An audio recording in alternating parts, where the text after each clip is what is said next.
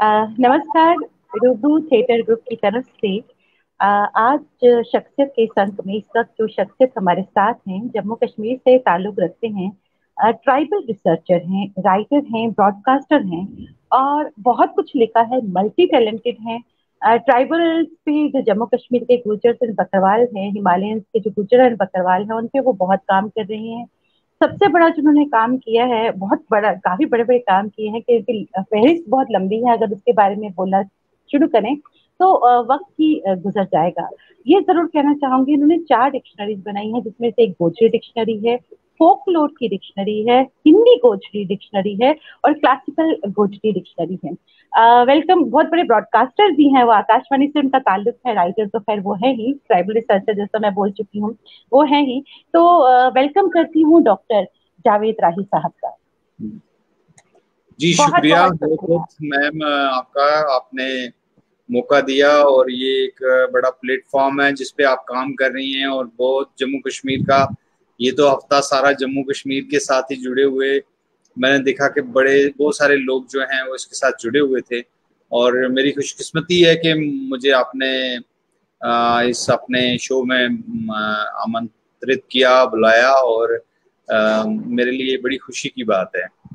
आप दिल्ली में बैठ के इतने बड़े सीन पे काम कर रही हैं और फिर भी अपने इलाके को याद रखे हुए हैं तो ये बड़ी बात है। जी। बहुत शुक्रिया हमारे इस मंच पर आने के लिए।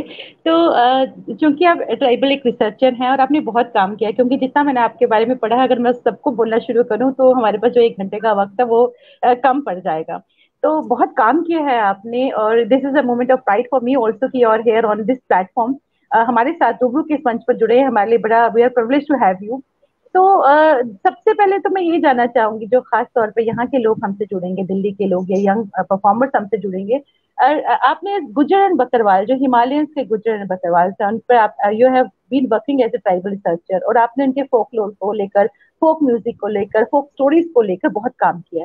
तो हम आपसे जानना चाहेंगे किस तरह से ये शुरुआत की ये शुरुआत एक तो ये कि हमें मुझे अपने कबीले के साथ हर एक को अपने जड़ों के साथ हर एक को मोहब्बत होती है। तो मुझे शुरू से ही था मेरे वाले साहब क्योंकि गोजरी के शायर रहे, हैं अदीब हैं। उनकी बहुत सारी किताबें जो हैं वो शाया हुई हैं। तो इस सूरत में ये हुआ कि उन्हीं को मतलब उनके साथ बहुत सारी महफिलों में जाके ये मालूम हुआ कि अपने ज़ुबान से, अपने कल्चर से, अपने एथनिसिटी से जुड़ने का जो है वो एक अलग से आप एक खिदमत कर सकते हैं, अपने लोगों की एक अपने लोगों के साथ जुड़ सकते हैं, उनको जोड़ सकते हैं अपने साथ। और बहुत सारा वर्जन एरिया था जिस पे काम करने की ज़रूरत थी। और मेरी खुशकिस्मती है कि कुछ दोस्तों की वजह से कि जिन्होंने टाइमली मुझे कहा कि इस पे काम कर लीजिए इस पे काम कर लीजिए। तो कुछ काम हो गया और बहुत सारा काम नहीं हुआ है। अभी बहुत सारा काम ऐसे पड़ा है। तो लेकिन चलो थोड़ा बहुत जो शुरुआती तरह का काम किसी ज़ुबान में होता है तो उतना काम तो किया है। जी।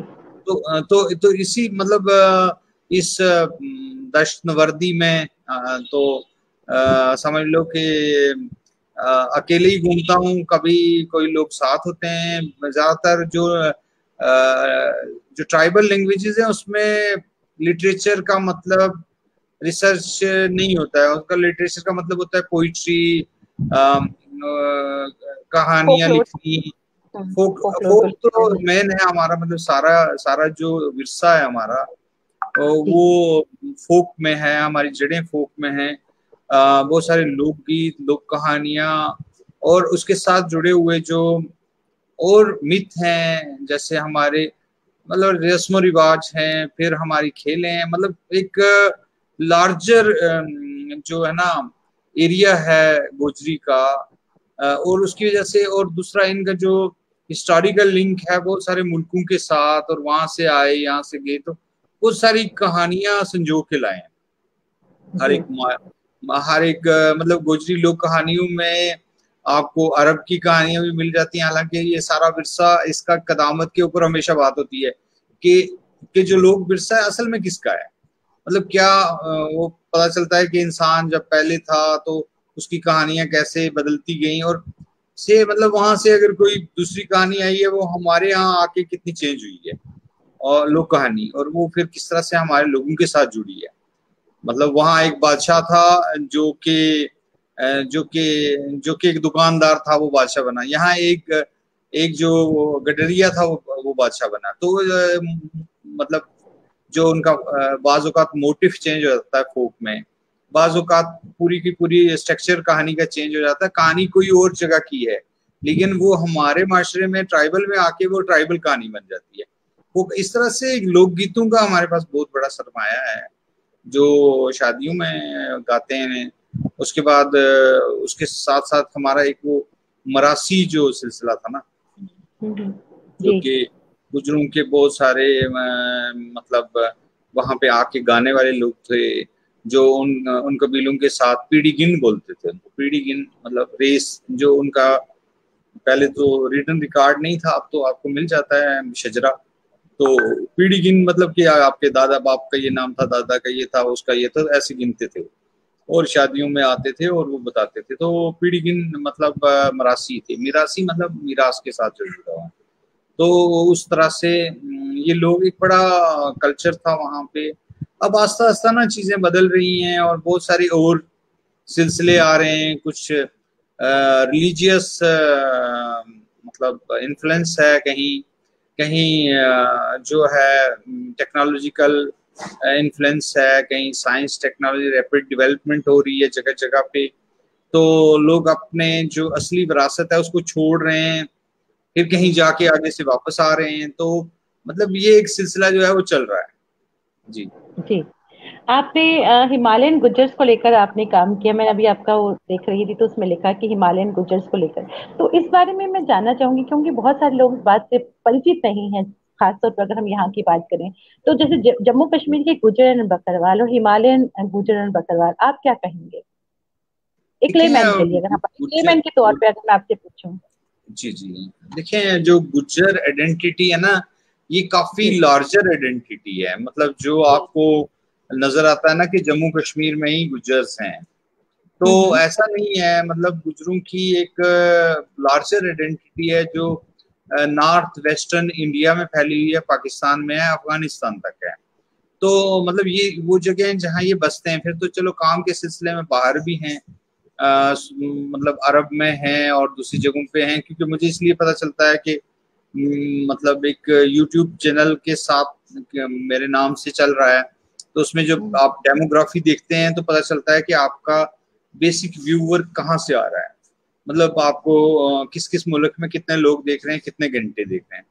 तो उससे मुझे पता लगा कि बुनियादी तौर पर इंडिया पाकिस्तान अफ़गानिस्तान फिर सऊदी अरब फिर यूके फिर यूएस फिर रेस्ट मुल्कों के अंदर जो है ना हमारा मतलब गोजरी में जो मैं प्रोग्राम करता हूँ या गुजरों के बारे में वो देखे जाते हैं।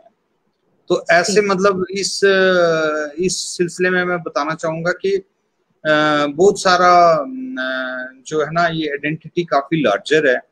मतलब जो हम्म। गुजर आपको जम्मू कश्मीर में नज़र आते हैं उन्हीं का एक पार्ट आपको उत्तरांचल में वन गुजरों के सूरत में नज़र आएगा हिमाचल में नज़र आएगा। फिर हमारे साथ हमारा ही एक हिस्सा जो है वो इधर आप आ जाएँगे हरियाणा, दिल्ली और दिल्ली में गुज्जर्स का तो बहुत है मतलब वहाँ बहुत सारे गाँव हैं और तो इस तरह से जुड़ जाता है। मतलब ये राजस्थान तक जाता है, गुजरात तक, गुजरात तो हमारे नाम पे है। गुज्जर राष्ट्र है, गुज्जर नेशन है।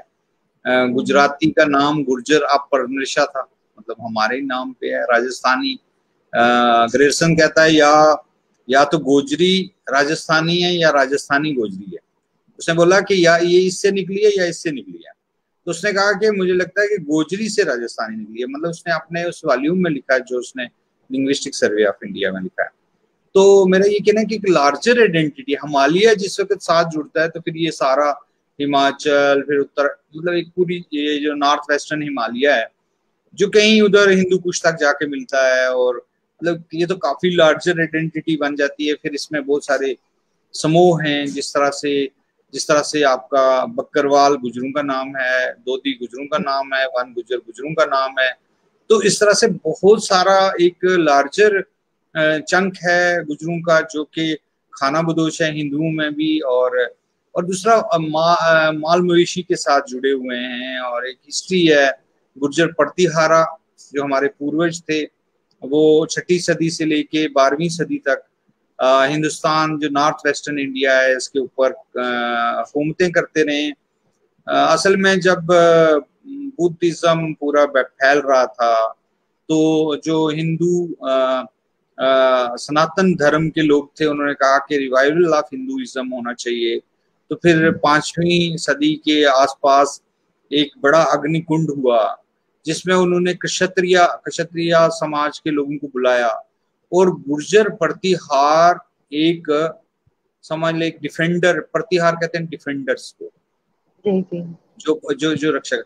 तो गुर्जर प्रतिहारों ने फिर सिंध से लेके गुजरात तक आ, मतलब इनकी हुकूमतें थी। आप देख सकते हैं आज तो जमाना है टेक्नोलॉजी का कि आप जब गुर्जर प्रतिहार डालेंगे तो आपको पता चलेगा कि नॉर्थ वेस्टर्न इंडिया में ये जो आपका आज का सोमनाथ मंदिर है तो ये जो इस सूरत में ये गुर्जर प्रतिहाराज ने बनाया है। इसी तरह पाली पातेश्वर के मंदिर और बहुत सारे मंदिर जो हैं गुर्जर प्रतिहारा राजवंश जो रहा है, उसने बनाया बनाए। हमारी हिस्ट्री काफ़ी काफ़ी बड़ी और शानदार हिस्ट्री रही है। अब ये है कि हमारे यहाँ सिलसिला ये है कि भाई इन्वेडर की हिस्ट्री तो बड़ी बताई जा रही है। मुगल ऐसे थे, मुगल वैसे थे, मुगल वैसे थे। जिन्होंने मतलब इन, सिंध में खड़े होके 600 साल तक बाहर के इन्वेडर्स को नहीं आने दिया तो वो जो गुर्जर हिस्ट्री है, उसको थोड़ा सप्रेस करते हैं। हिस्टोरियन भी फिर उसको राजपूताना में रखते हैं, हालाँकि हम गुर्जर कहते हैं। राजपूताना में गुर्जर कहते हैं कि हम उससे थोड़ा अर्लियर हिस्ट्री हिस्ट्री में थे। राजपूत जो शब्द है या राजपुत्रा सोलहवीं सदी में आया। तो गुर्जर तो छठी सदी से आ, मतलब एक बावकार कौम के तौर फिर ये पुश हो गए मतलब नए बादशाह आते हैं तो पुराने को जो लोग नीचे होते हैं उनको पुश कर देते हैं तो ये पहाड़ों पे चढ़ गए। और वो फिर सिलसिला जो है वो अभी तक क्या कहते हैं चल रहा है। बहुत सारे क्या कहते हैं जगहों पे। तो ये मैं बताऊँ कि उस वक्त से लेके आज तक जो इनका एक एक ट्राइबल कल्चर है वो सरवाइव कर रहा है और अभी भी मतलब मस्ती में है जी लोग। मतलब वो जो हम यहाँ आए मैं शहर में बस रहा हूँ मैं एक गाँव में रहता था मैं एक पहाड़ की तरफ़ जाते थे लोग डोकू में जाते थे जो सुकून भैंस का दूध पी के जो जड़ी खा के क्या बात। जो पहाड़ पे जड़ी खा के रात को दूध देती है शाम को वो दूध में जो मस्ती होती है ना और जो लस्सी में मस्ती होती है और यहाँ की मतलब किसी भी चीज़ में मैंने नहीं देखी। कि उतना नशा कि आप वहाँ पे हैं और फिर आप गीत गा रहे हैं नेचर के साथ।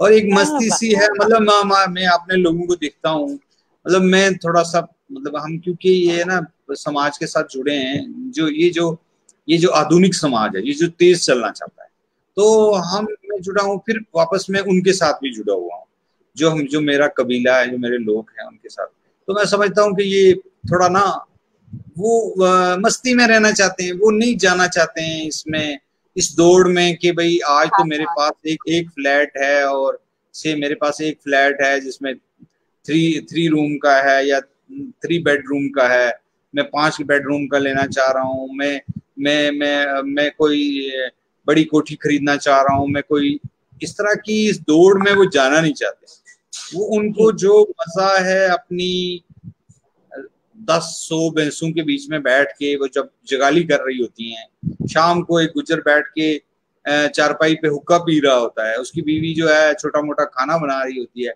और वो कोई गीत सुन रहा होता है तो वो अपनी मस्ती जो है ना वो उसको इस तरह बकरवाल जो हमारा कबीला है जो पहाड़ पे बैठ के गीत गाता है मज़े लेता है ज़िंदगी के चलता है चलता है चलता है दुनिया देखता है। अब ये जो दौड़ है ना आधुनिक जो दौड़ है साइंस एंड टेक्नोलॉजी की जो दौड़ है पैसे की तो कभी खत्म होने वाली है नहीं है। इसमें कोई एंड ही नहीं है। और मतलब इंसान को पता ही नहीं है बेसिकली उसका मकसद क्या है आने का। उसका मकसद क्या वो क्या मैं क्या आप बैठी हैं और मैं बैठा हूँ और हम यहाँ प्रोग्राम कर रहे हैं। क्या हमारी ज़िंदगी का इतना ही मकसद है? क्या हम मतलब पैदा हुए हैं कि दौड़ो सुबह उठ के और शाम तक दौड़ो? फिर मैंने कबीलों से सीखा है यार मस्ती में रहो। मतलब जो होना है सो होना है। तो उनको यही होता है यार रोटी का इंतज़ाम हो जाना चाहिए। लिव द मोमेंट आप वो लिव द मोमेंट पल को जियो लम्हों को हाँ, जियो। मज़ा लेते हैं। एक एक मोमेंट का कहते हैं तू बंजली बजा। दूसरे को कहते हैं तू बांसुरी हाँ, बांसुरी बजा। तो फिर वो सो के सुनते हैं उसको। अच्छा मतलब हम्म, हर एक चीज़ जो जो इंसान को मज़ा देती है हिस्स देती है जो हम टीवी में कहीं ढूंढते हैं जो हम ढूंढते हैं किसी एक्टर में जो हम ढूंढते हैं किसी रेडियो की किसी वॉइस में वो मतलब उसी मस्ती नेचर के साथ रिदम बिठा के तो ये करते हैं। तो मतलब मैं मतलब कई बार ना हम चाहते हैं कि ये यार थोड़ा तेज रहें थोड़ा लेकिन उनकी उनके अंदर अपनी एक मस्ती है और और ये मस्ती मतलब निकाली नहीं चाहिए बेसिक इंस्टिंक्ट्स में। है मतलब वो बादशाह जब काफ़ी देर बादशाह कर चुका होता है ना उसके बाद वो वो एक अजीब मस्ती में होता है। तो ये नस्ल जब बादशाह करके आई है और फिर एक सदियाँ हो गई हैं उसी मस्ती में जी रही है। और मतलब मस्त रहते हैं जी ज़्यादा परेशानी नहीं लेते। इवन इवन दिल्ली दिल्ली में गुजर है ना जो जिनके पास बहुत पैसा है ये ना बहुत सारी जमीनें उनकी आई हैं, अब नज़दीक आ गया, शहर फैल गया तो उनका। तो मतलब वो भी हमारे दोस्त हैं भाई बंधु हैं, मस्ती अपनी मस्ती में रहते हैं, छोड़ो मतलब दुनिया को मतलब कुछ एक ना थोड़ा डिस्टेंस से देखते हैं।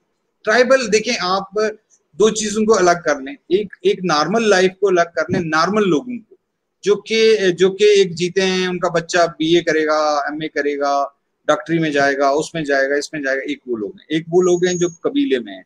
तो उनको पता है कि हमने सौ भैंसें रखी हुई ये कंटिन्यू रखनी है।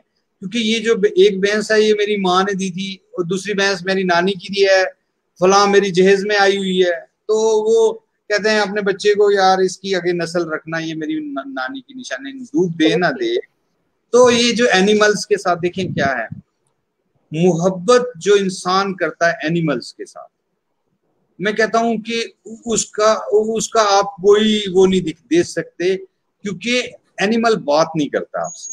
मतलब मोहब्बत में, इश्क में बात ज़रूरी है ना, कि महबूब सामने वो बात करे। तो जब आपका महबूब एक एनिमल्स की सूरत में आता है ना तो वो फिर बात नहीं करता। वो आके आपके पास बैठता है, वो आपके साथ मतलब आपके आने पे खड़ा हो जाता है। मैं बहुत सारे इंसिडेंट सुनाना, सुना सकता हूँ आपको। जिसमें कि मतलब मेरी मदर हैं या बहुत लोगों ने अपने घरों के किस्से सुनाए कि जब काफ़ी अरसे के बाद वो अपने माल मवेशी में गए तो सारे माल मवेशी खड़ा हो गया। जो भी उस उस उस जगह पे माल मवेशी उनका अपना घर का था सौ भैंसें थी सौ की सौ खड़ी हो गई आनर में। Oh तो भाई मतलब वो तो उसी लिए खड़ी होंगी ना कि उनका मालिक आया है मोहब्बत है उनके साथ।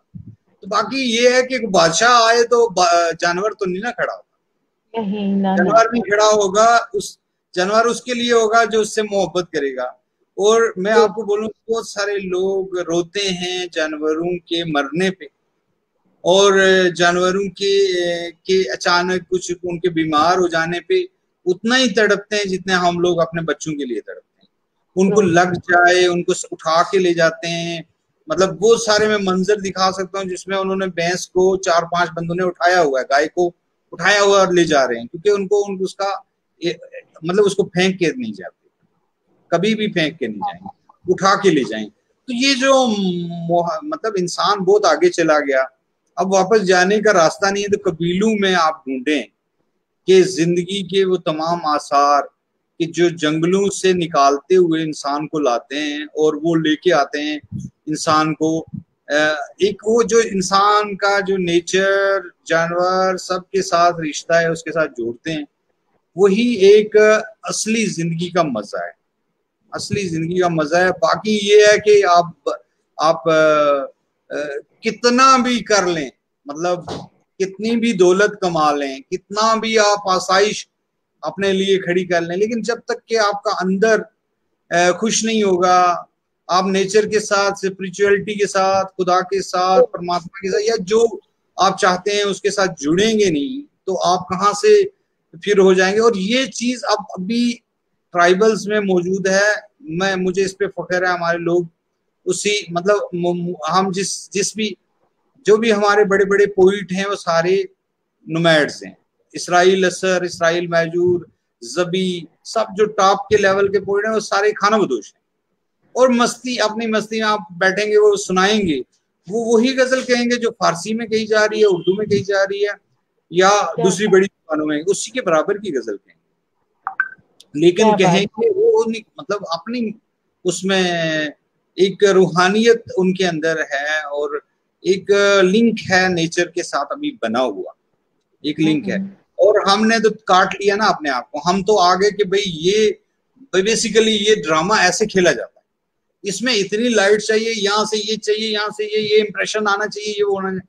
वो हम्म। ज़िंदगी के तमाम ड्रामे जो है ना लाइव करते हैं। जो भी हमने देखा लाइव दिखा और बड़ा मज़ेदार दिखा। सुनिए मेरी एक बात कि एक एक किसी के घर में नौकर था। वो बाद में उसके बारे में कि वो दरवेश बड़ा फकीर बन गया बहुत बड़ा।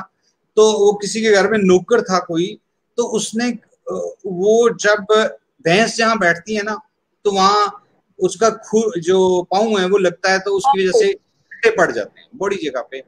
जहाँ भी भैंस रहेगी तो वो काफ़ी खड्डे डालती है। मतलब उसके पाँव में भारी होती है तो खड्डे डाल तो वो हर दिन हर दूसरे दिन मिट्टी डालनी पड़ती है वहाँ पे ना उसको बराबर करने के लिए। तो एक एक जो था गुजर तो वो मिट्टी डाल डालता था डाल के बराबर करता था फिर अपने कमीज उतारता था। कमीज उतार के उस पर लोट पोट होता था। ऐसे लोट पोट होता था तो किसी ने पूछा कि भाई आप क्यों लोट पोट होते? हैं कहता मेरी भैंस को कहीं से कुछ लगेगा तो नहीं। अगर मैं अगर ये इस पे बैठेगी कहीं से इसको पत्थर तो नहीं चुभेगा? इसलिए मैं अपना हाँ। कपड़े उतार के लोट पोट होता हूँ इस पे मतलब ये मोहब्बत की इंतहा ये ऐसा कोई कर सकता है? ऐसा तो मतलब वही लोग कर सकते हैं जो जो अंदर से माल की साइकोलॉजी जानते हैं। मेरे मेरे मवेशी को क्या प्रॉब्लम है?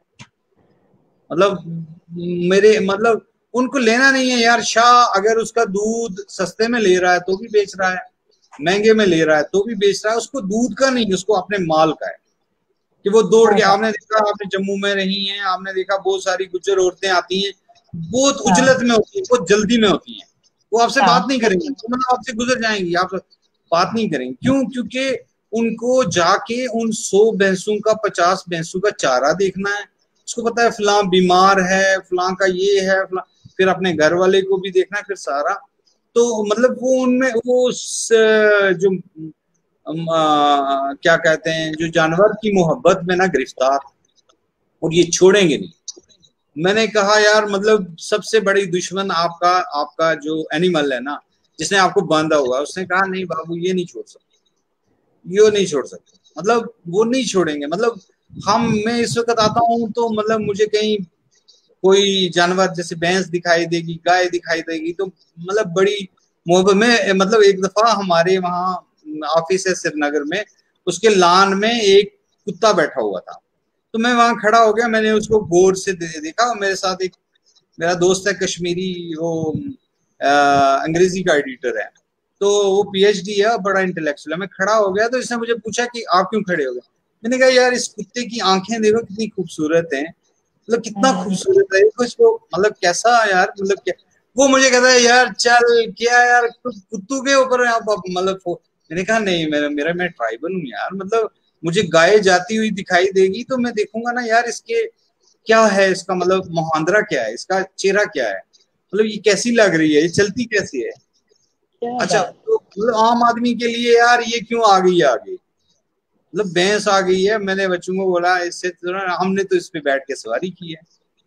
मतलब गाय के साथ, भैंस के साथ, बकरियों के साथ, बकरी तो बहुत ही बेवफा होती है। मतलब बकरी जो है, वो वो जो है, वो वो थोड़ी सी क्या कहते हैं उसको, कमज़ोर दिल की होती है। और वो नहीं, ज़्यादा आपके साथ ना मतलब थोड़ी मतलब बेवफा उसमें। बाकी सारे जानवर जो है ना, वो बुजदिल आता है ना लफज बुजदिल बुज कहते हैं बकरी के हम्म। बुजदिल हो गया बकरी के दिल वाला तो थोड़ी सी कमज़ोर है तो वो कभी कभी आपको मतलब भेड़ आपके साथ रहती है और ऊँट ऊँट के अंदर क्या खूबी है जी कि ऊँट जो है वो वो जो आप उसके साथ अगर कभी गलती करेंगे ना कोई आपने गलत मार दिया उसको एक तो उसको लगता है कि ये तो मेरा मास्टर है ये मेरे सही मोहब्बत है जो उसके साथ चलता है। तो वो अपने हाथ में कुलाड़ी रखेगा ज़रूर।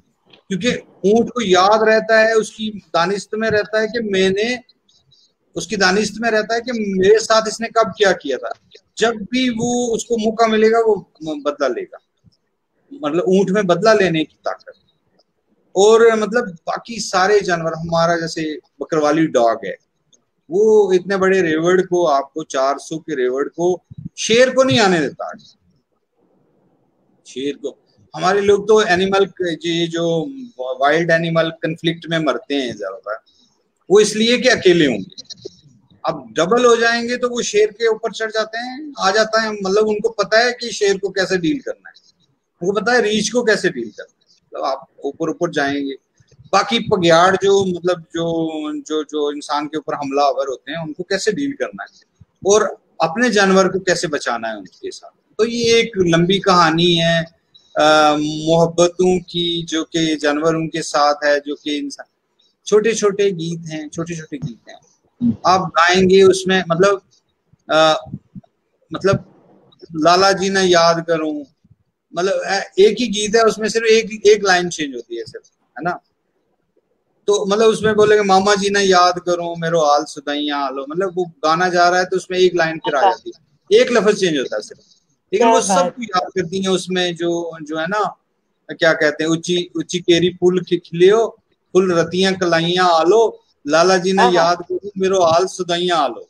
फिर कहेंगे मामा जी ने याद करो मेरो हाल सुदाइया आलो। चाचा जी ने याद करो मेरो हर बार वो ना मतलब पूरा गाना गाएगी ऊँची केरी पुल खिलियो पुल रतियाँ कलाइया आलो आ, मामा जी ने याद करूँ भैया जी ने याद करूँ फिर वो सब अपने रिश्तेदारों को याद करती है उस उस उस मोहब्बत में, उस प्यार में। तो ये जो आसानी है ना जी मतलब हमारे लोग, मैं बताना चाहूँगा, पाँच हज़ार में अच्छी शादी करते हैं। फाइव थाउज़ेंड पाँच हज़ार में अच्छी शादी करते हैं। बेहतरीन। क्यों? क्योंकि बेड़ अपनी है, चावल अपने आ जाते हैं, कि कुछ ना कुछ पनियातर आ जाती है, जैसे लोग चावल दे देते हैं। बाकी मैंने बहुत सारी शादियाँ कवर की हैं जिसमें उन्होंने माँ के जेवर लगाए हैं, लड़की ने, लेकिन बाज़ार से ये दो सूट कपड़े के दुल्हन के। दो सूट ओनली पहले तो एक ही आता था, आप दो आते दो सूट कपड़े के, कुछ नकली जेवर और दूल्हे के दो सूट, बल्कि एक ही सूट। एक उसकी माँ का, एक बाप का या किसी भाई का। तो चार पाँच हज़ार रुपए में छींट का कपड़ा लाना और शादी करनी और और और, खुशी करनी और चलना अपनी ज़िंदगी को चलाना। हम लोग यार शादी करने पाँच हज़ार रुपया पाँच हज़ार रुपया तो हम मतलब चाहे कि ऐसे ही ना वो फजूल में जाया करते। पाँच हज़ार में शादी होती है अच्छी बेहतरीन। जिसने पचास हज़ार में शादी की वो तो गिना जाता है भाई वो हो हो हो, हो मतलब तूफ़ान कर गया ये। तो मतलब देखिए ना आपने ज़िंदगी अपनी आसान करनी है कि मुश्किल करनी है आपने खुद फैसले करने। बिल्कुल दूसरों ने नहीं फैसले करने। आप देखिए कोई हद ही नहीं। मतलब आप अगर खर्च करने पे आ जाएँ तो कोई हद ही नहीं। और मतलब आप अगर आपका अगर ये मकसद है कि हाँ जी इससे इस शादी से या इस इस रिचुअल से मुझे ये फ़ायदा मतलब एक हमने बंधन करना है और उसमें कुछ लोगों को बुलाना है आते हैं बैठते हैं हुक्का पीते हैं थोड़ा खाना शाना खाया तो निकले अपने अपने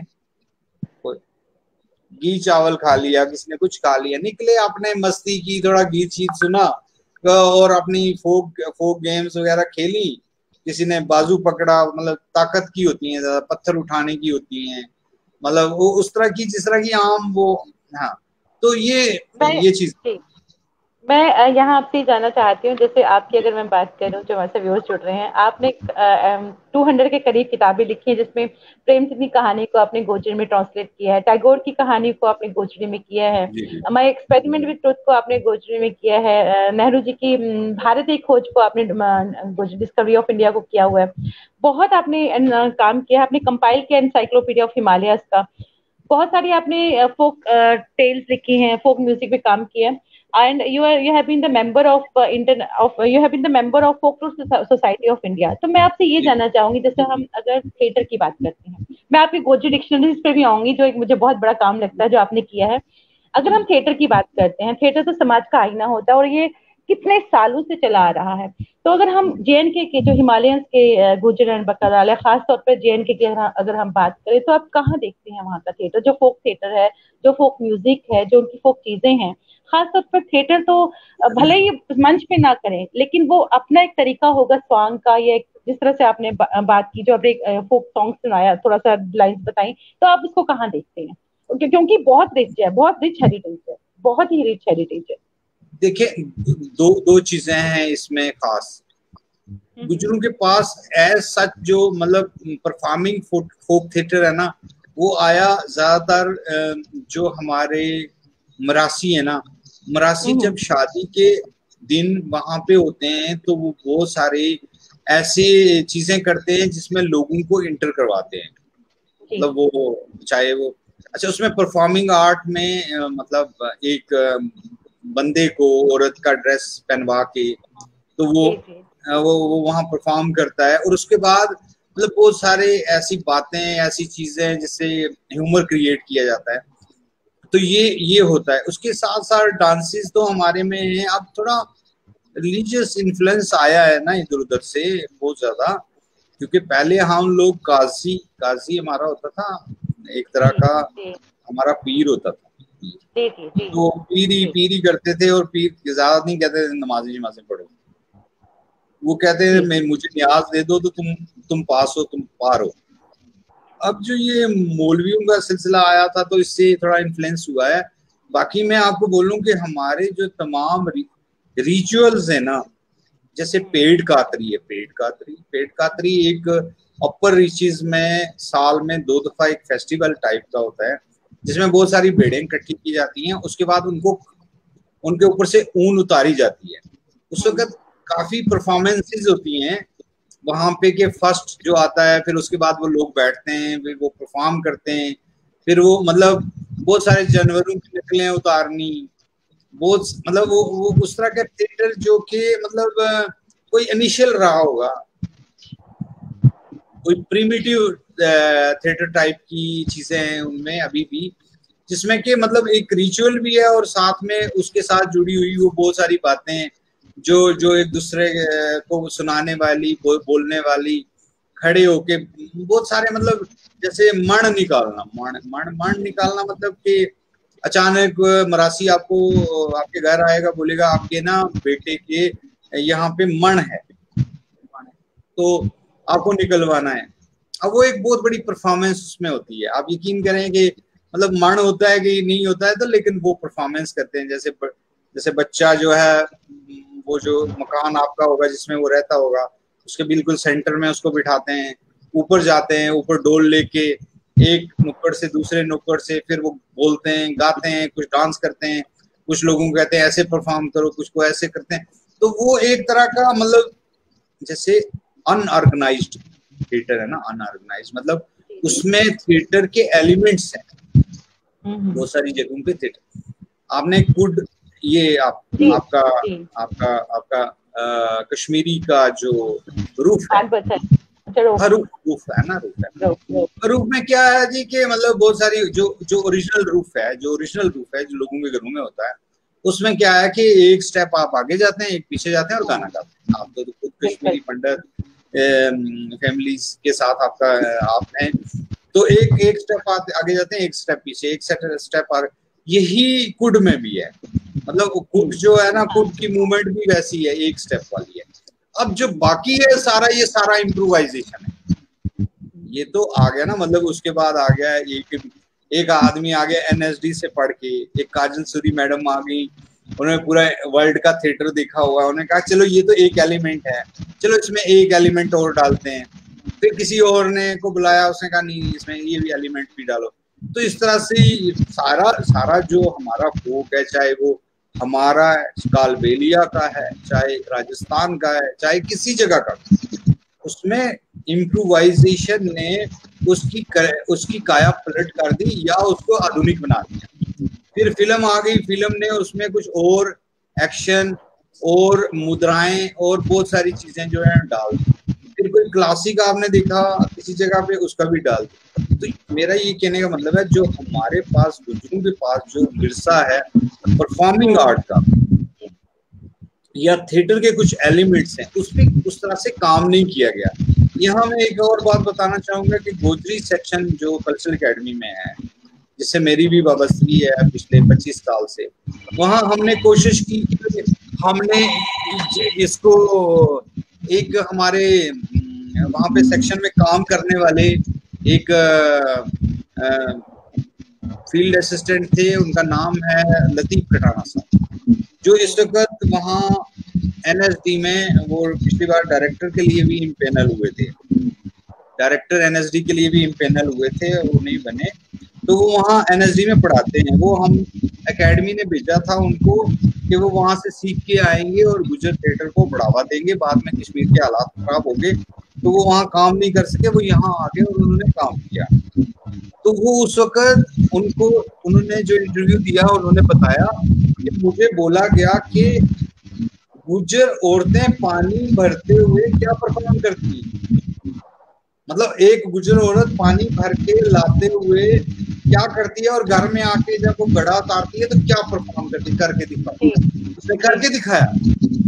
मतलब ये एलिमेंट ऑफ़ थिएटर है ना कि भाई वहाँ से गड़ा। बाकी आ गया उसके अंदर का डायलॉग वो कोई भी क्रिएट कर कर दे, कर देगा। लेकिन एलिमेंट ऑफ़ थिएटर जो जो ट्राइबल में है वो मतलब अलग किस्म का है। और उसमें कुछ मतलब प्रीमेटिव मुझे ना बहुत सारी चीज़ें प्रीमेटिव लगती हैं। मैंने इनको बोला भी कि आपने अगर ये मांगा डांस है जैसे हमारे। हम्म। जैसे ज, ज, जैसे झुमरू झुमरू अपना झुमरू है। तो मैंने कहा झुमरू है मांगा है तो इसमें थोड़ा एलिमेंट ऐड करते हैं। थोड़ा मतलब इसमें तीन चार मुद्राएँ हैं तीन चार एक्शन है तो इसमें और एक्शन जोड़े जोड़े जाते हैं। तो वो ये है कि मतलब इसमें काम करने की ज़रूरत है परफॉर्मर इंसान तो है ही परफॉर्मर है। मैं इस वक्त परफॉर्म कर रहा हूँ, आप भी परफॉर्म कर रहे हैं। ये तो एक थिएटर का सिलसिला चल रहा है। मैं बोल रहा हूँ, मैं डायलॉग बोल रहा हूँ, मैं मैं अपने इम्प्रेशन से, चाहे आवाज़ की ऊंच नीच से आप भी बोल रहे हैं। तो मतलब सारा एक मतलब एक तरह का वो चल रहा है। मतलब कोई लोग इनको इसको समझ रहे होंगे कि ये कोई कंटेंट की बात बोल रहे हैं और वो कोई कंटेंट की बात तो ये मतलब एक परफॉर्मिंग का भी इस तरह से मैं जब अपने लोगों को देखता हूँ ना तो उनमें बड़ी, बड़ा बड़ा ज़्यादा मतलब बहुत सारे एलिमेंट्स हैं। प्लेस के जो हमारे रिचुअल्स में निकलते हैं। रिचुअल्स में आते हैं रिचुअल्स में बहुत सारे बहुत सारे रिचुअल्स होते हैं जिसमें जिसमें बहुत सारे परफॉर्मेंस होती हैं। मतलब मुझे एक एक परफॉर्मेंस सेल में आती है कि अगर हम इसको लिंक करके एक प्ले बनाए तो ये बहुत अच्छा प्ले बने क्या बात।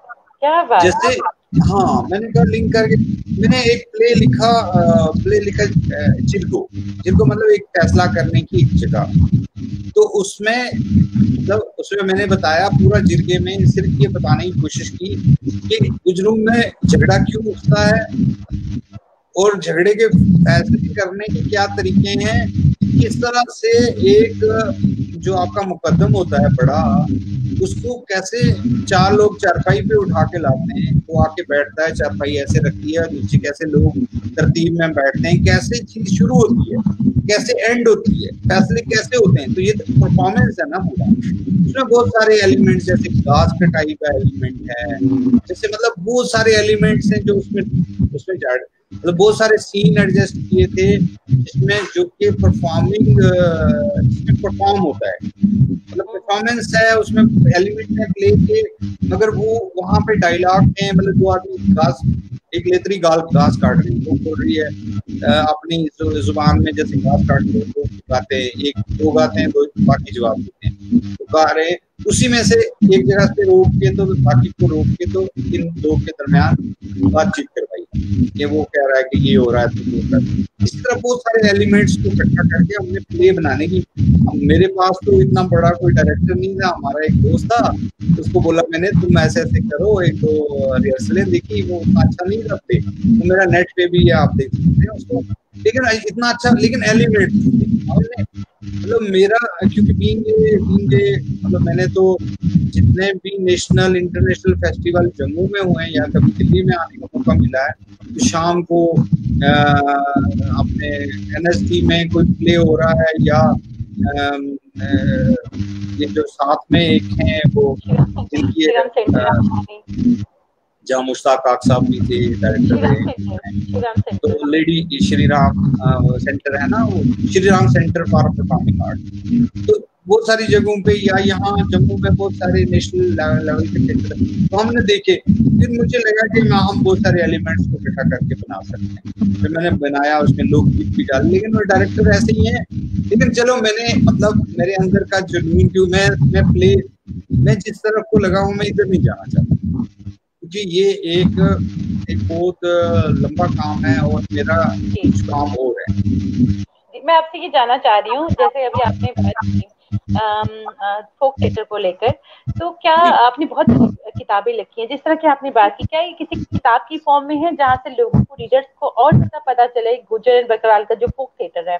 जो फोक थिएटर तो नहीं कर कह सकते मतलब जो ये काम है जिसको हम लोग कहते हैं कि थिएटर में आता है तो कोई ऐसी किताब है जिस तरह आपने गोजी फोक टेस्ट पे बहुत किताब लिखी है आपने म्यूज़िक पे लिखी है तो क्या इस तरह की कोई किताब आपने लिखी है?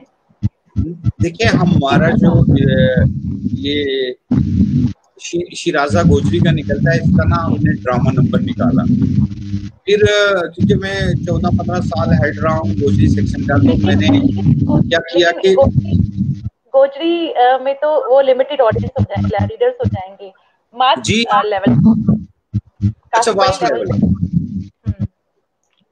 जम्मू में जम्मू में जो फोक थिएटर के ऊपर काम हो रहा है आप उसके बारे बारे में बात करें।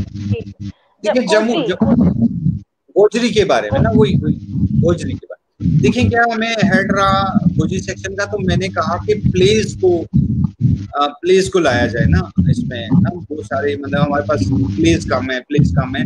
तो मैंने आगा हर्षद कश्मीरी के दस ड्रामे जो टॉप लेवल के हैं, वो ट्रांसलेट करवाए मैंने लोगों से।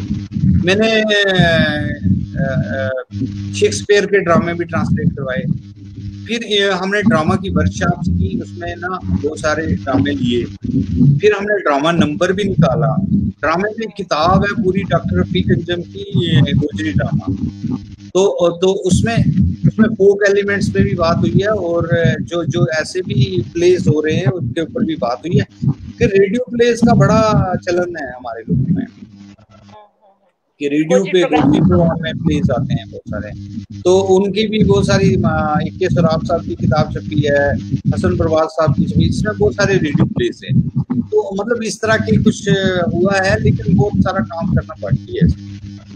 एक चीज़ और मैं बात जानना चाहती आपने वंजली की बात करी बंसरी की बात करी कि गुजर बकरवाल शाम को बैठ के बंसरी बजाते हैं उसका अपना ही मज़ा है।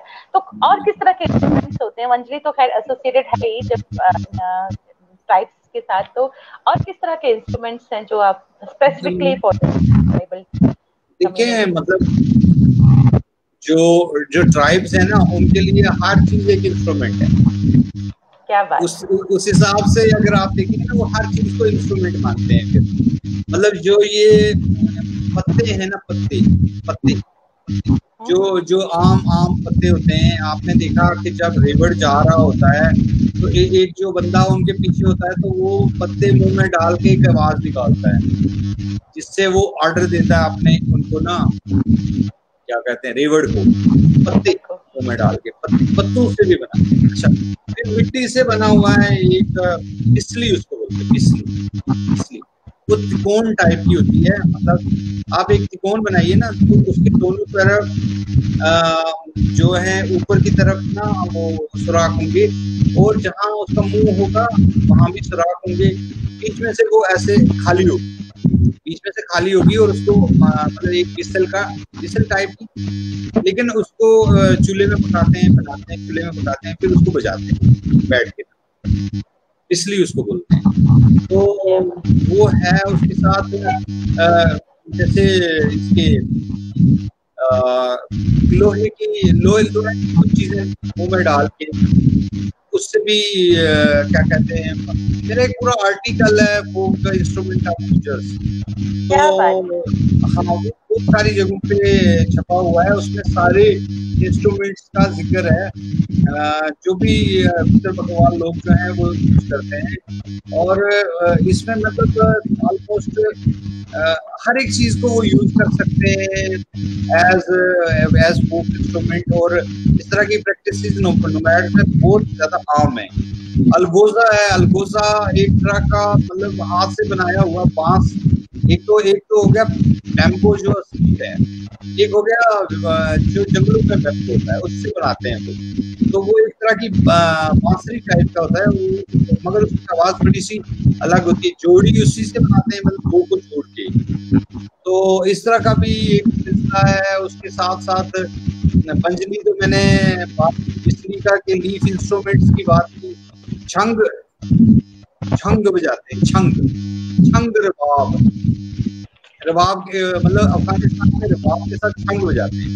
छंग जो है मुँह के अंदर एक तरह का लोहे का बना के इंस्ट्रूमेंट उसको ऐसे बजाते हैं, ऐसे ना ऐसे करते हैं। तो वो वो कभी कभी रबाब के साथ ढोल के साथ बाकी रिदम के साथ उसको हेल्पिंग रिदम छंग बोलते हैं, छंग रबाब रबाब के साथ बजाते थे, लेकिन आप अकेले भी उसको बजाते हैं। और एक तारो बजाते हैं जो जो जो पंजाबी में आप एक तारा बोलते हैं ना तो उसी तरह की बना के हाथ से बना के ना, वो तारे वगैरह तो उसके बनाते हैं एक तारा। वो उसका कुछ अपने ही तरह का जो है वो निकालते हैं। बाकी इसके उस इसके अलावा, सारगी जो है, वो एक पसली एक पसली इसकी जैसे कश्मीरी सारगी, सारंगी अलग है। फिर पंजाबी सारंगी अलग है। डोगरा सारंगी अलग है। जो लोगों के मराठी है उनकी सारंगी जो है, उसको टाई पसली टाई पसली सारंगी होती है। तारों का सिलसिला अलग होता है, उनके, उनका रिदम अलग है। कश्मीरी जो लोग आपके भांड पत्थर में बैठते हैं, वो एक तरह की जो सुर लेते हैं, सारंगी के ऊपर, थोड़ा सा शार्प होता है। शार्प होता है, बहुत शार्प होता है। मतलब उसमें लगता है जैसे मतलब तारों के ऊपर बड़ा छेड़ दिया है। तो जो जो आप रेडियो पे सुनते हैं, बड़ा शार्प होता है। जो हम, हमारे में सारंगी इस्तेमाल होती है उसमें थोड़ा रिदम में ना थोड़ा थोड़ा थोड़ा मतलब थोड़ा एक तरह का पेन सा पेन जो असली पेन है ना सारंगी के अंदर का। तो वो पेन को वो बताने की कोशिश करते हैं और अलग से कुछ मतलब उनकी टाइप असली बोलते हैं। मतलब मैंने मराठियों से पूछा क्यों आपकी सारंगी कश्मीरियों से अलग है? पंजाबियों से अलग है क्लासिकल से अलग है? फिर उन्होंने एक्सप्लेन किया है, पूरा प्रोग्राम है उसके ऊपर बशीर मस्ताना साहब के साथ, मेरा यूट्यूब के ऊपर होगा। उसमें उन्होंने एक्सप्लेन किया कि ये तार ये तार ये तार, ये ये तारें उसमें नहीं होती, फिर अपने वो भी देखी कि वाकई उसमें वो तारें नहीं होती। और इसकी तारों का क्या, इसको बिठाने का क्या तरीका है, वो अलग है।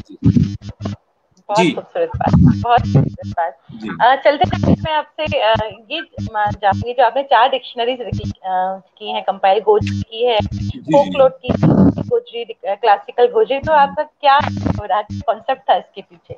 ये मेरे फोक मैं आपको बोलूँ कि मेरा ज़्यादातर काम जो है ना फोक पे है। फोक।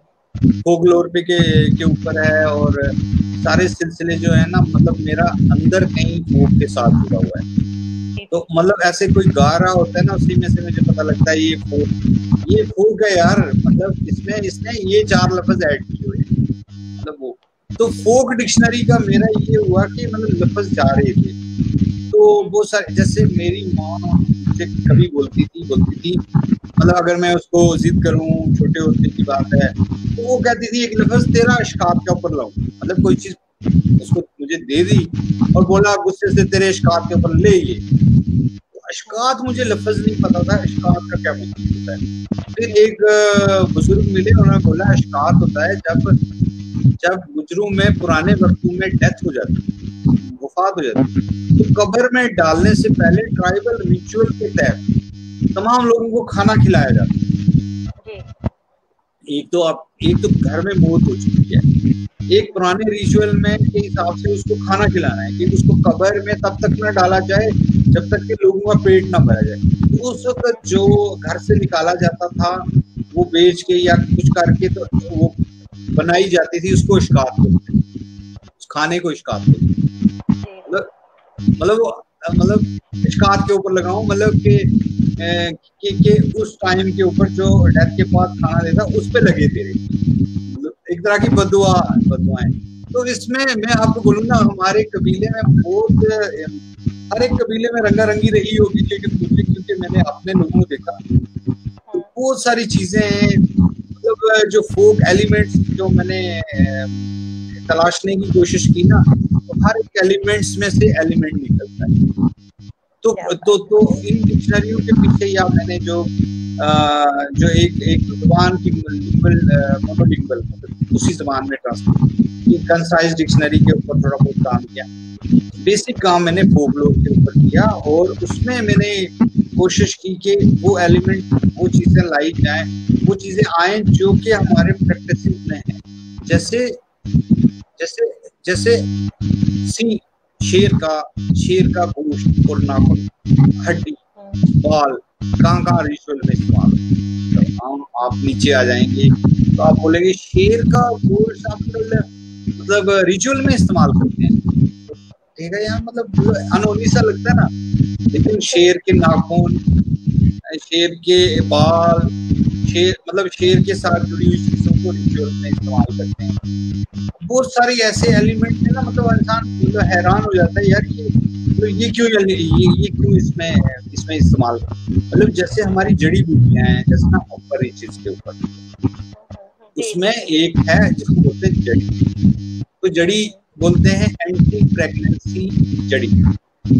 एंटी प्रेगनेंसी जड़ी। तो ये कहते हैं जब ये इसको माइग्रेशन में लाते हैं ना उस जड़ी को नीचे तो वो पाँव के साथ बाँध के लाते हैं। तो के ए, ए, एक ए, एक जगह पे पाँव के साथ एक वो बनाया ना एक थैला सा तो पाँव के साथ बाँध दिया। उसमें वो जड़ी रखी हुई होती क्योंकि उनको ये लगता है कि कोई आने आगे से जानवर आएगा उसको अगर जड़ी का साया पड़ेगा तो वो उसकी प्रेगनेंसी मतलब जाया हो सकती है। मतलब उनको इतना फेद है। मतलब अपने अपने अपनी अपनी विरासत पे इतना फेद है कि जंगल में से जड़ी उठाई। उनके लिए ये एंटी प्रेगनेंसी उनको कहा कि पेड़ के ऊपर जड़ी बांधो। इसमें से इतनी जड़ी खाओ तो जो प्रेगनेंसी है वो चली जाएगी। या अगर प्रेगनेंसी में प्रॉब्लम है तो वो हल हो जाएगी। मतलब उनको इतने ज़्यादा फेथ हैं मतलब जो कि प्रैक्टिकल लाइफ में मतलब मुझे लगेगा, यार, ये तो ऐसे थोड़ा हो सकता है यार। मतलब साइंस ने इतनी अगर इस तरह की कोई फ़ील्ड है तो फिर तो इसको ये होना चाहिए। जैसे सांप के सांप का इलाज, सांप की काटे का इलाज, ये खाने से होता है, ये खाने से होता है, ये खाने से होता है। बहुत सारी चीज़ों का इलाज उन्होंने। और और और सैकड़ों जड़ी बूटियाँ हैं जो हमारे लोग यूज़ करते हैं। आज भी क्योंकि वो अपर रीचेज में तो उनके पास नहीं होगा ना ये मतलब दवाइयाँ वगैरह। तो, तो इस तरह से बहुत सारी चीज़ों को मैंने इकट्ठे किया है जिसमें रिचुअल्स हैं जिसमें हमारे यहाँ जो आर्ट है क्राफ्ट है जो आप गुजर और तुमको टोपी देखते हैं वो हाथ से बनाती हैं उनका आर्ट क्राफ्ट अलग है। अच्छा गुजर का आर्ट क्राफ्ट इसलिए अलग है कि ठप्पे का काम नहीं करते। जैसे कश्मीरी में एक ठप्पे का काम होता है ना एक कपड़े पे ठप्पा लगाते हैं, आरी के साफ़ कर देते हैं, सब का सब ऐसे लगता है जैसे मशीन से बना हुआ।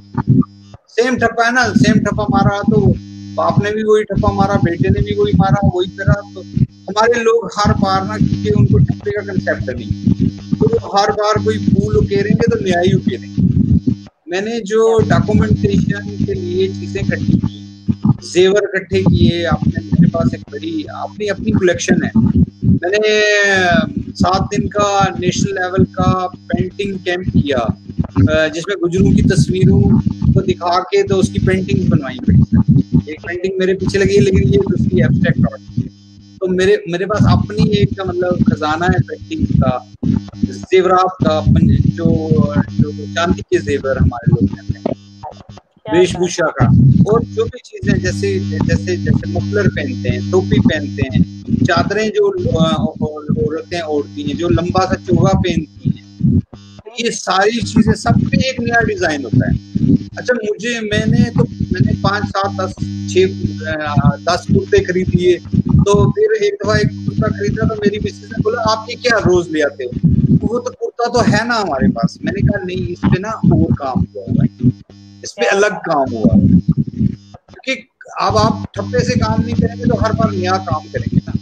कि औरत जो टोपी सीती है हर बार नया डिज़ाइन डालती तो मतलब ये जो इनोवेशन है नया फन है इस पे काफ़ी काम मतलब किया है। जैसे हमारे यहाँ घरों में लपाई के बाद जो चित्रकारी होती है अलग ही डिज़ाइन मेरे पास एक एक सौ मकानों के डिज़ाइन है कि बाहर से कैसे लिपाई होती है अंदर से कैसे होती है। और ये जो कंदाल होती है ना कंदाल जो पुराने जमाने में मिट्टी की बनाई हुई होती थी आपके घरों में। तो मैंने एक लंबा टूर करके तो कंदालों के डिज़ाइन कटे कि कंदाल किस तरह की बनती है कि चूल्हा कहाँ है उसके पीछे कौन कौन सी लोकेशन पे क्या क्या चीज़ है उसको क्या ब्यूटिफिकेशन की है। मतलब ये बहुत सारी चीज़ें हैं जिनको मैंने इकट्ठे करने की कोशिश की है और बहुत सारी चीज़ों को मतलब मैंने गुजरों को कल्चर को, गरीबों का कल्चर जम्मू कश्मीर में माना, मानते थे कि वो ट्राइबल है। थोड़ा हमने उसको ग्लोरीफाई करने की कोशिश की कि हमारा एक ग्लोरीफाई करके एक अच्छा सा वो आ जाए। एक एक एक लुक आए, लोगों को पता लगे, यार, ये तो मतलब जो जो जो तजाकिस्तान में, कजाकिस्तान में है, जो कजाकिस्तान में है, जो तुर्की में है, जो इधर है सेंट्रल एशिया में तो ये ये तो ये तो उसके बराबर की टक्कर की एक का कल्चर है। तो हमने उसको ग्लोरीफाई किया और ओरिजिनलिटी जाने नहीं दी। हमने उनको हमने आज आप मेरे फेसबुक पे जाएँगे, आप मेरे यूट्यूब पे जाएँगे, मैं बहुत मतलब जो हम लोग अब कोशिश कर रहे हैं कि रिवाइव करने की, कि एटलीस्ट शादी के एक दिन या किसी एक रिचुअल पे हम अपने ड्रेसेस को डालें, पूरे ड्रेसेस में मतलब पगड़ियाँ पहने, आप मेरे फेसबुक पे देखेंगे, एक सीरीज़ है। गुजर्स इन ट्रेडिशनल ड्रेसेस के बदले किसी शादी में बीस तीस लोगों ने गुजरों का ड्रेस लगा के बैठे हुए तो तो उसके ऊपर सीरीज़ है हमने मतलब बहुत सारे लोग अपने ड्रेस में बहुत सारे लोग भैया या जैसे स्टूडेंट्स हैं बच्चियाँ हैं हमारी कॉलेज में उनको हम प्रमोट करते हैं कि भाई आपने गाने गाओ लेकिन अपने ड्रेस में अपने एनुअल डे पे हमने बहुत सारे मेरे वीडियोस हैं। मेरा यूट्यूब मैं मतलब प्रमोट नहीं करना चाहता अपने चैनल को। यहाँ से मैं ये कहना चाहता हूँ कि एटलीस्ट आप मेरे यूट्यूब चैनल पे जाएँ मेरे नाम से है। वहाँ पे मैंने कोई मतलब उसमें एक हज़ार से ऊपर वीडियो है। सबका सब गुजरों के बारे में। उसमें आपको बहुत सारे रंग रंग इनके मिल जाएँगे। बहुत खूबसूरत बात कही। और इतना जो काम कर रही है अपने आप में कमेंडेबल क्योंकि फोक को बजाना और फोक ये हमारी धरोहर। बहुत बड़ी उस पे मैं तो दोनों सूत्रों में मैंने काम किया है रिटर्न में भी और और जो जो आर्टिफैक्ट्स हैं फोक के वो सारे के सारे सेव करने मतलब मैंने अपनी कलेक्शन इकट्ठी की है पुरानी लकड़ी कपड़ा मिट्टी, जो भी हमारे पास है, बाँस हाथ का काम, जेवरात, जैसे पूंछ में जो गुजरों के जेवर है वो अलग हैं। मतलब उसपे अलग तरह का काम है। जो उधमपुर में उस पर अलग तरह का काम है। जो कश्मीर में है, उस पर अलग तरह का काम फिर ये चांदी भी नहीं है। चांदी से भी सस्ते जेवर हैं गिल्ट में। गिल्ट क्या बात है? में भी जेवर है वो भी वो भी मैंने कर और मतलब आई हैव ग्रेट कलेक्शन कभी मैंने किसी दिन नुमाइश लगाई तो मैं ज़रूर आपको बोलूँगा आप आए उसमें देखें कि हमने क्या जेवर इकट्ठे किए ज़रूर आऊँगी अगर आपने जम्मू में भी होंगी मैं दिल्ली से जम्मू आऊँगी। आपने इतना कमेंडेबल काम हम मैंने फिफ्टी के करीब जेवर आइडेंटिफाई किए हैं। उनमें से कुछ कलेक्ट किए हैं तो कुछ के एटलीस्ट फ़ोटो हैं कि जो यहाँ से पाँव तक जो जेवर पड़ते हैं फिफ्टी के करीब आइडेंटिफाई कमेंडेबल कमेंडेबल आपके पास तो मतलब आपसे पूछने इतना कुछ है लेकिन एक घंटा का ही टाइम था और ये वक्त पट गया लेकिन इंशाल्लाह दोबारा ज़रूर मुलाकात होगी। आपसे बहुत सारी चीज़ें अभी आपसे और पूछनी है और आप इस मंच पर आए। इतनी इंस्पिरेशनल जो आपकी जर्नी थी और जो आपने बातें बताई जो फोकलोड के लिए आपने काम किया है ये इतना हम लोगों के लिए इंस्पिरेशनल रहा है और इतना इन्फॉर्मेटिव रहा है। बहुत बहुत शुक्रिया कहना चाहूँगी मैं आपका मौका दिया और मुझे मौका मिला आपके यहाँ से बोलने का। बहुत शुक्रिया। और मुझे उम्मीद है कि आपका जो ये सिलसिला है लोगों के साथ जुड़ के उनकी कहानियाँ सुनने का और उससे जो एक नॉलेज का का फैलाव हो रहा है, वो बड़ी चीज़ है। कि उसमें से कोई एक लाइन किसी को पसंद आती है तो वो अपनी ज़िंदगी उस पर वक्त करता है। तो ये आपकी कंट्रीब्यूट बहुत बहुत शुक्रिया। बहुत शुक्रिया। बहुत बहुत शुक्रिया।